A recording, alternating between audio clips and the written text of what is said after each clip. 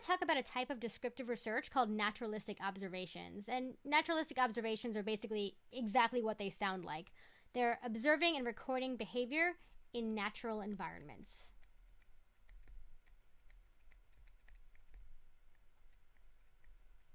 By natural environment, we mean things like studying lions in their natural habitat, or how Jane Goodall went and lived with chimps to study their behavior. But naturalistic environments include more than just the jungle.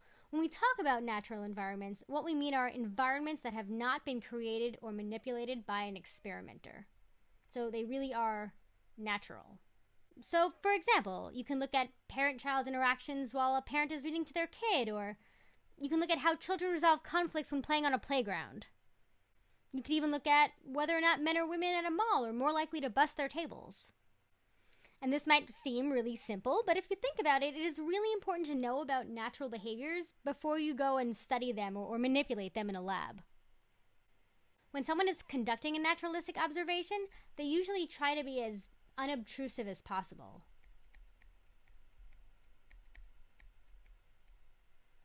And this is because we don't want the behaviors of the people we're looking at to change because of the presence of the experimenter.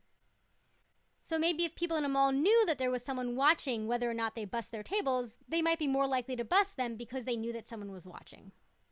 And so usually researchers try to keep a low key. And they can remain low key in a number of ways. First of all, they can just sort of be quiet and off to the side, or in certain situations, they can observe things from the other side of a one way mirror, or you could even videotape interactions so that you can watch them later. And also, though it may not initially seem like it, naturalistic also involves a lot of training. Normally, researchers have to be taught what to look for in any given situation and they have to be trained how to take careful notes during their observations. And because it can be so difficult, it is not uncommon to have multiple researchers conducting multiple observations so that then they can compare their observations later. So, if you're interested in naturalistic observation, one thing that you might want to take a look at is the CHILDES database.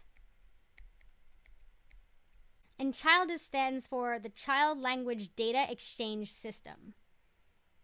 The system was set up in 1984, and it was set up in order to act as a location where researchers from all over the world could store and share their data about children's use of language and how children acquire language. And it includes everything from transcripts to audio files and video files. They would actually send home audio recorders with parents so that they could record all of the interactions the parent had with the child. And so, let's say you are interested in finding out how children's concepts of luck change over time. Now, you could bring kids into the lab and just ask them about luck. But it might also be interesting to see how concepts related to luck are discussed between parent and child when the researcher isn't around. So I could log onto the CHILDES database and search for things like luck or lucky. And the system would highlight all instances it has of those terms in its database. And I could look through them and look at what was said right before the term was used and right after and I could get an idea about how concepts of luck are used in everyday conversations. And this brings up a point that I've kind of mentioned before, which is about the use of recording materials. So, researchers don't need to be present when the observations occur in order for something to count as naturalistic observation. Instead, they can record the observations and study them later and even maybe share them with other researchers. So, naturalistic observations are great in that they provide us with a snapshot of everyday life. But since we're just observers, we can't really control anything. And we can't really take into account all of the different factors that might be influencing the behaviors that we're observing. And so, while we can observe children in a playground to see how they handle conflict resolution, we can't know why they used the specific strategies they used or, or even how they learned them. And so, like all descriptive research, naturalistic observation lets us observe what's around us and lets us describe natural behavior but it doesn't really let us pick apart all of the different variables that might be influencing the behavior.